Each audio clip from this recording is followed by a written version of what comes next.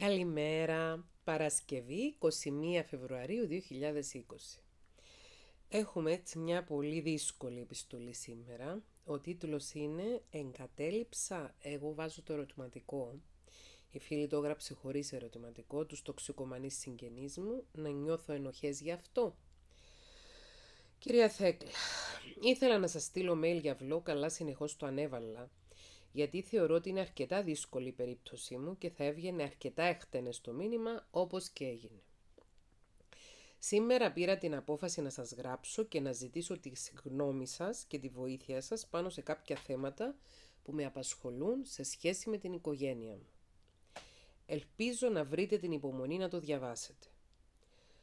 Θεωρώ ότι θα είναι αρκετά ενδιαφέρουσα η περίπτωση μου για vlog, ναι. Είναι πολύ ενδιαφέρουσα η περίπτωση σου για vlog. Δεν έχουμε κάνει άλλη φορά παρόμοιο vlog. Είμαι γυναίκα 26 ετών και ζω σε ένα μεγάλο αστικό κέντρο. Αποφύτησα πρόσφατα από τη σχολή μου. Έχω τελειώσει κάτι άλλο, αλλά το όνειρο μου ήταν να σπουδάσω ψυχολογία.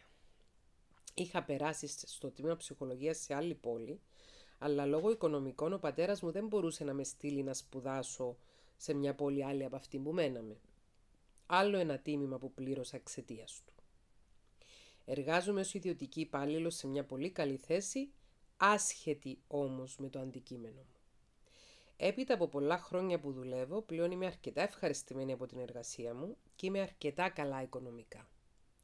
Για να πάρω τα πράγματα από την αρχή. Προέρχομαι από γονείς τοξικομανείς.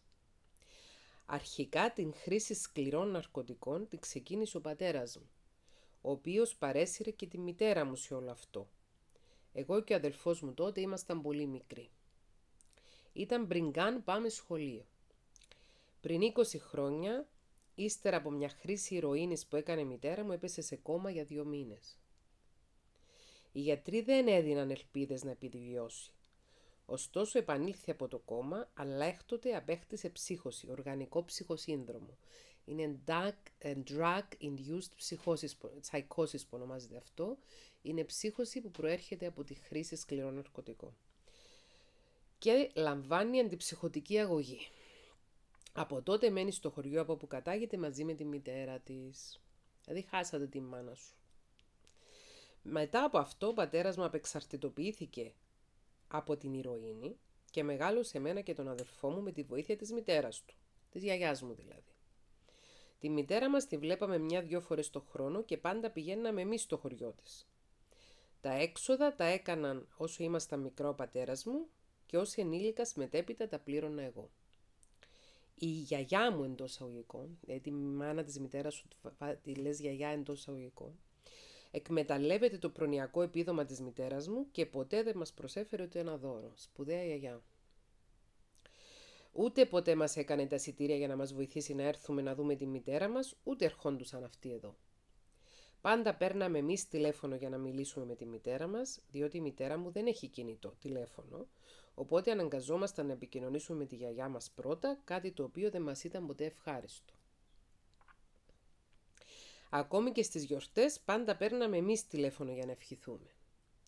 Όλα αυτά τα χρόνια λαμβάναμε μια διαφορία η γιαγιά μου εντός εισαγωγικών. Με τα άλλα της εγγόνια δεν είναι έτσι. Μάλιστα.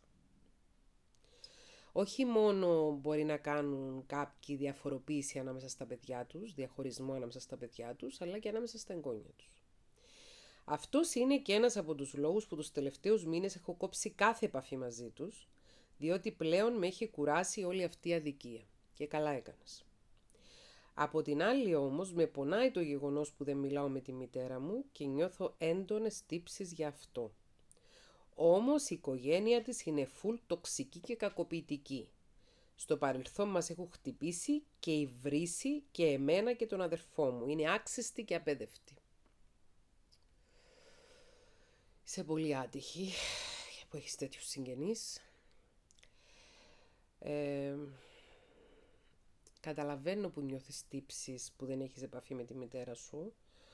Όμως από τη στιγμή που η μάνα σου ε, βρίσκεται στην κατάσταση που βρίσκεται, στην ουσία έχει μια σοβαρή πάθηση, την οποία την έχει πάθει από την κατάχρηση σκληρών ναρκωτικών, τη χρήση και κατάχρηση των ναρκωτικών.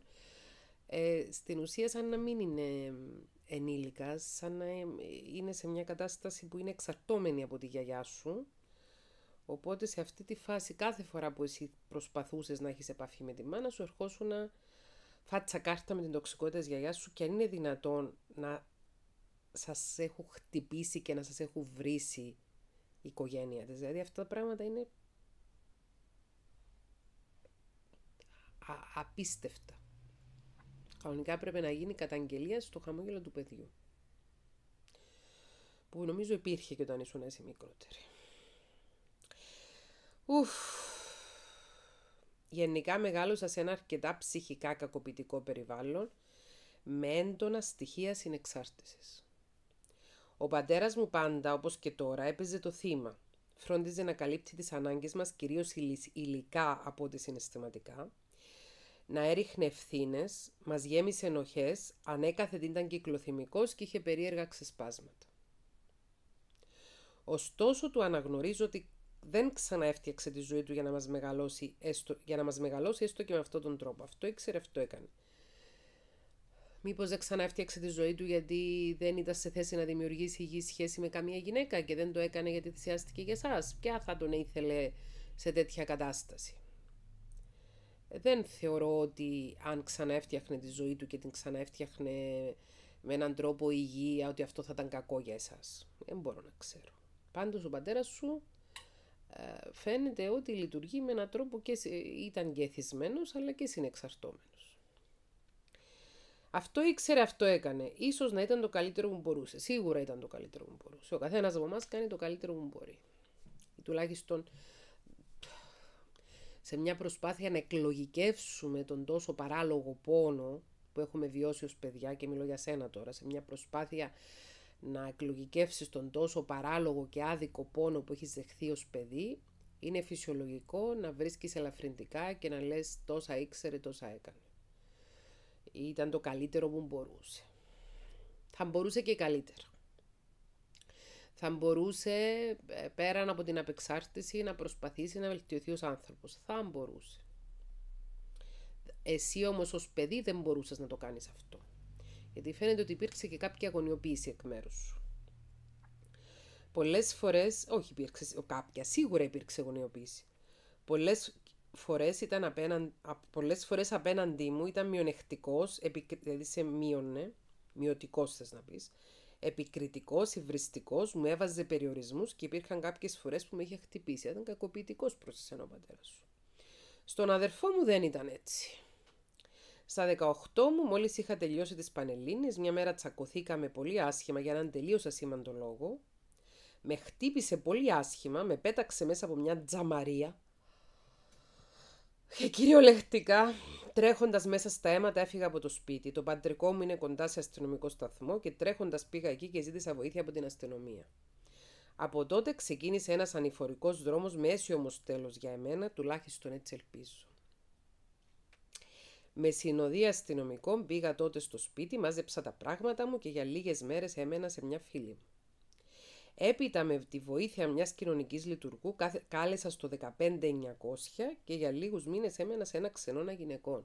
Θα έχω πει πάρα πολλές φορές για το 15900 που είναι η, γραμμή, η εθνική γραμμή άμεσης βοήθειας στην Ελλάδα που όσοι ε, και όσοι βρίσκεστε σε κακοποιητικές καταστάσεις είναι καλό να τηλεφωνείτε και να ζητείτε βοήθεια. Άρα εσύ ε, έμεινες και στο ξενώνα γυναικό, μάλιστα. Βρήκα γρήγορα δουλειά και έπειτα ένα μικρό σπίτι στο οποίο έμεινα για 7 χρόνια. Όλα αυτά τα χρόνια δούλευα και σπούδαζα ταυτόχρονα. Μπράβο κούκλα μου. Μπράβο αγάπη μου. Στερήθηκα πολλά αλλά δεν το έβαλα κάτω. Τελείωσα με τη σχολή μου, βρήκα καλύτερες θέσεις εργασίας, νίκιασα ένα μεγαλύτερο σπίτι, πήρα αμάξι και έπιπλα και στα 25 μου πλέον έχω καταφέρει πολλά πράγματα και είμαι πολύ περήφανη για τον εαυτό μου. Και εγώ είμαι πολύ περήφανη για σένα και είμαι σίγουρη ότι και όλοι οι φίλοι του καναλιού θα εκφράσουν επίσης την περηφάνεια τους και το θαυμασμό τους για σένα. Να σημειώσω ότι από τα 19 μου έκανα 5 χρόνια ψυχοδυναμική ψυχοθεραπεία, μπράβο, και τώρα παρακολουθώ ένα πρόγραμμα ατομικής και ομαδικής ψυχοθεραπείας διαλεκτικής συμπεριφορικής προσέγγισης, καθώς έχω διαγνωστεί με οριακή διαταραχή προσωπικότητας εδώ και τρία χρόνια. Η ψυχοθεραπεία ήταν το καλύτερο δώρο που έκανα για τον εαυτό μου και με βοήθησε πάρα πολύ να αντιμετωπίσω την οριακή διαταραχή με ό,τι αυτό συνεπάγεται. Μπράβο αγάπη μου, είναι δύσκολη η διαταραχή αυτή, όμως από τον τρόπο που γράφεις και από τον τρόπο που εκφράζεσαι και από τα πράγματα που λες δείχνει ότι το χειρίζεσαι πάρα πολύ καλά. Στις ερωτικές και διαπροσωπικές μου σχέσεις είχα έντονες δυσκολίες τα προηγούμενα χρόνια. Λογικό, αναμενόμενο, φυσικό. Ωστόσο πλέον κατάφερα να έχω μια υγιή σχέση με ένα πολύ καλό παιδί. Μπράβο. Να αποκτήσω αρκετούς φίλους και να βελτιώσω τις εκρήξεις θυμού που είχα και γενικώς να διαχειρίζομαι καλύτερα τα συναισθήματα μου. Μπράβο. Επίσης να αποκτήσω αυτοεκτίμηση και αυτοπεποίθηση. Ο λόγος που σας στέλνω είναι διότι τα τελευταία 7 χρόνια είναι και ο αδερφός μου χρήστης ουσιών και πλέον αντιμετωπίζει πολύ σοβαρά θέματα υγείας. Έχει διαγνωστεί με οξία νεφρική ανεπάρκεια και στην κυριολεξία έχουν σαπίσει τα νεφρά και το σηκώτη του. Πέραν τούτου, ο αδερφός μου όλα αυτά τα χρόνια ήταν αρκετά επιθετικός προς όλους, ακόμη και προς τη γιαγιά μου που είναι πολύ μεγάλη σε ηλικία, την οποία πολλές φορές έχει χτυπήσει και υβρίσει. Είχε παραβατική συμπεριφορά, έκλεβε, είναι χειριστικός και πολλά άλλα. Έχει όλα τα χαρακτηριστικά του, του ναρκωμανούς. Ο πατέρας μου, όντας συνεξαρτώμενος, διαιώνιζε όλο αυτό το πράγμα χωρίς ουσιαστικά να βοηθάει τον εαυτό μου. Το μόνο που έκανε τόσα χρόνια είναι να τον συντηρεί οικονομικά και να τον ταντεύει. Εγώ δούλευα σαν το σκυλί για να καταφέρω να επιβιώσω και ο αδερφός μου τα είχε όλα έτοιμα. Ακόμη και τη δόση του πήγαινε και του έπαιρνε πολλές φορές με τη δικαιολογία ότι δεν ήθελε να γίνονται φασαρίες. Τι δείχτη συνεξάρτησης είναι αυτό. Με αποτέλεσμα να υπάρχει ένας φαύλος κύκλος.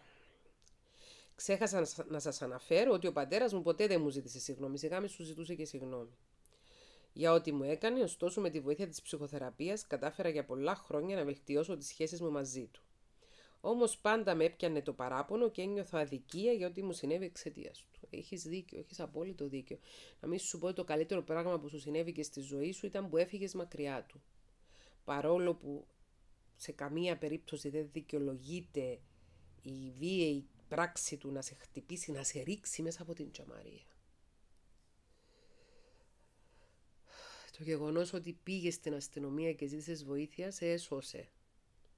Μακροπρόθεσμα. Πολλές φορές με έπαιρνε για να μου πει τον πόνο του και ότι δεν αντέχει την κατάσταση με τον αδερφό μου και ουσιαστικά να του το παίξω δωρεάν ψυχολόγος. Αλλά ποτέ δεν έκανε κάτι για να αλλάξει ουσιαστικά την κατάσταση, μόνο κλεγόταν. Εδώ και ένα μήνα δεν μιλάμε καθόλου μετά από ένα τσακωμό που είχαμε, στον οποίο μου είπε άσχημα πράγματα μου επλήγωσαν πολύ. Καλύτερα να μην μιλάς. Καλύτερα. Για πρώτη φορά και εγώ του μίλησα πολύ άσχημα και του είπα να μην με ξαναενοχλήσει και ότι ο τζάμπας ψυχολόγος τελείωσε. Καλά του είπες. Με τη βοήθεια του ψυχολόγου μου αποφάσισα να βγάλω όλους τους τοξικούς ανθρώπους από τη ζωή μου, ακόμη και αν χρειαστεί να κόψω κάθε επαφή. Αυτό να κάνεις. No contact να πας. Go no contact. Κόψε κάθε επαφή. Αυτό που με πονάει όμως είναι ότι δυστυχώς η υγεία του αδερφού μου δεν οδεύει καλά και αναμένουμε κυριολεκτικά τα χειρότερα. Έχω προσπαθήσει πολλές φορές να το βοηθήσω, αλλά μάτια δεν μπορείς αγάπη μου να το βοηθήσεις. Ακόμη και πριν λίγες μέρες που τον κάλεσα σπίτι μου για καφέ, κατέληξε να φωνάζει, να με βρίζει και να με κάνει ρεζίλ στην πολυκατοικία. Δεν το αντέχω όλο αυτό. Τους έχω συγχαθεί με το δίκιο σου. Με το δίκιο σου. Με έχουν κουράσει τόσο πολύ που ώρες ώρες έχω ευχηθεί πολύ άσχημα πράγματα. Μην νιώθεις ενόχες γι' αυτό γιατί όταν φτάνουμε στα όρια μας, άθελά μας, ευχόμαστε πράγματα τα οποία πραγματικά δεν τα εννοούμε. Δεν υπάρχει λόγος να νιώθουμε ενοχές γι' αυτά μετά. Νιώθω τόση αδικία γιατί ποτέ δεν σκέφτηκαν πως, είναι εγώ και αν έχω, πως είμαι εγώ και αν έχω δικά μου προβλήματα ή αν τα βγάζω δύσκολα οικονομικά. Πάντα για αυτούς ήμουν η δυνατή που δεν είχε καμία απολύτως ανάγκη. Είμαι σε απόγνωση, δεν ξέρω τι να κάνω. Από τη μια θέλω να ξεκόψω τελείως μαζί τους και από την άλλη σκέφτομαι ότι ο αδελφός μου πιθανότατα να μην βιβιώσει και μετά θα έχω φρεχτέ τύψεις για μια ζωή που δεν περνούσα λίγο χρόνο μαζί τους. Μα δεν θα φταίει εσύ αν δεν επιβιώσει ο αδελφός σου. Είναι επιλογές οι δικές του και του πατέρα σου που τον οδήγησαν εκεί που είναι. Δεν θα φταίεις εσύ. Όμως, όσο και αν έχω προσπαθήσει, καταλήγω να πληγώνομαι είτε από τον πατέρα μου είτε από τον αδελφό μου. Αυτό που μου λέει ο ψυχολόγος μου είναι να μην νιώθω ενοχές, γιατί κανείς δεν μπορεί να βοηθήσει ένα χρήστη παρά μόνο ο ίδιος τον εαυτό του. Συμφωνώ με τον ψυχολόγο σου, συμφωνώ απόλυτα με τον ψυχολόγο σου. Για μένα όμως δεν είναι τόσο απλό. Νιώθω μόνη χωρίς οικογένεια. Θα ήθελα τη γνώμη σας και τη βοήθεια σας πάνω στα παραπάνω. Να σημειώσω το αδελφός μου νοσηλεύεται στο νοσοκομείο. Επιχείρησα να πω δύο φορές, αλλά πάλι άρχισε την επίθεση. Δεν θέλω να ξαναπάω, δεν το αντέχω όλο αυτό. Να μην ξαναπάς. Με επηρεάζει και στη δουλειά και στη σχέση μου. Δεν είμαι καθόλου ευθυνόφοβη, όμως πραγματικά έχω κουραστεί από όλη αυτή την τοξικότητα. Σε καταλαβαίνω. Σας ευχαριστώ εκ των προτέρων και συγγνώμη για το αρκετά μεγάλο μήνυμα μου. Παρακολουθώ εδώ και μήνες το κανάλι σας και ο λόγος που δίστασα να σας γράψω είναι γιατί θεωρώ πως η ζωή μου στο κακοποιητικό περιβάλλον στο οποίο μεγάλωσα και η κατάσταση της οικογένειας μου είναι από τις δυσκολότερες περιπτώσεις. Σας ευχαριστώ και πάλι. Απάντησα στη φίλη. Αγάπη μου, το διάβασα τώρα το mail σου. Είσαι σίγουρη πως θέλεις να γίνει vlog. Η δική μου γνώμη συμπίπτει με αυτήν του ψυχολόγου σου. Δεν φταίει εσύ για τον αδελφό σου. Με κεφαλαία της το έγραψα. Δεν φταίει εσύ για τον αδελφό σου. Δεν είναι δική σου ευθύνη. Δεν μπορείς να το γιατρέψεις. Δεν μπορείς να τον αποτοξινώσεις. Και είναι πολύ καλή ιδέα να απομακρυνθείς χωρίς ενοχές.